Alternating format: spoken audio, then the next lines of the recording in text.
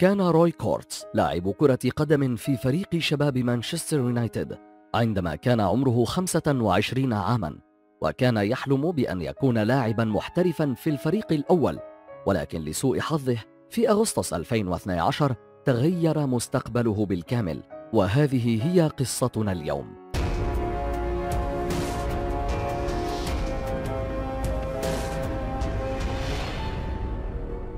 عندما كان يقود روري كورتش سيارته عائدا للمنزل بعد التمرين تعرض لحادث مريع حيث بدأت السماء تمطر بغزارة وهو في طريقه للمنزل وبسبب المطر الكثيف الذي منعه من رؤية الطريق بشكل جيد اصطدم بشاحنة كبيرة وانقلبت سيارته. وصل رجال الإطفاء والإنقاذ فورا لمكان الحادث وبعد ساعة من محاولتهم للوصول لكورتس وجدوه لا يزال على قيد الحياة ولكنه مصاب بالعديد من الكدمات والتورمات مما جعلهم يسرعون بإحضار هليكوبتر ونقله إلى المستشفى. بعدما كشف الأطباء على روري تبين أنه أصيب بنزيف داخلي في الجمجمة ودخل في غيبوبة ولم يتمكن الأطباء من تحديد كم ستستغرق أو متى سيستعيد وعيه. ولكن المفاجأة عندما أفاق روري بعد ستة أيام فقط. الصدمة الكبرى التي حلت بالأطباء وبعائلة روري نفسه حدثت عندما قام الأطباء بإعطاء اختبار ذهني لروري للتأكد من سلامة عقله فتفاجأوا به يخاطبهم باللغة الفرنسية وبمنتهى الطلاقة. في البداية توقع الأطباء أن تكون الفرنسية هي اللغة الأم لروري وأنه ينتمي لعائلة من أصول فرنسية.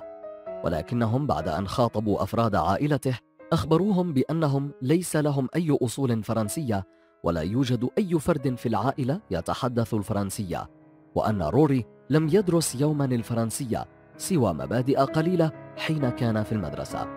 لذا كيف يتحدث بتلك الطلاقة الغريبة؟ وحتى أن اللهجة التي تحدث بها بدت وكأن اللغة الفرنسية هي لغته الأم.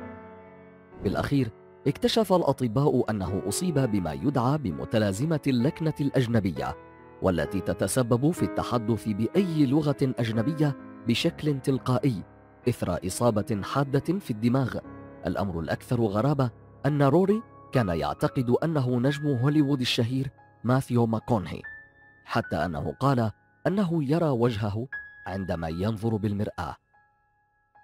بعد مجموعة من العمليات الجراحية والعلاج الذهني لروري بتواجد عائلته حوله وكثرة الحديث معه عن نفسه وبعد عدة شهور عاد معهم إلى المنزل بعد أن اقتنع بأنه روري وليس النجم السينمائي الشهير ولكنه على الرغم من ذلك ظل يتحدث الفرنسية. بسبب الحادث قام روري باعتزال كرة القدم. واليوم يعمل كحلاق في مسقط رأسه. ولكن الأمر الجيد أن متلازمة اللكنة الأجنبية لم يتعافى منها ولا زال يتحدث اللغة الفرنسية وبطلاقة. وعلى الرغم من أن ذلك الحادث أنهى مستقبله في عالم كرة القدم إلا أنه أنقذه من مئات الدروس في اللغة وجعله ماهرا بها دون أن يتكبد أي عناء. وهو ما يجعل الأطباء حتى يومنا هذا حائرين بحالة روري لأنهم اعتادوا على رؤية تلك المتلازمة ولكن أثرها يزول بعد تعافي المصاب إلا أن روري لا يزال محتفظا بتلك الميزة.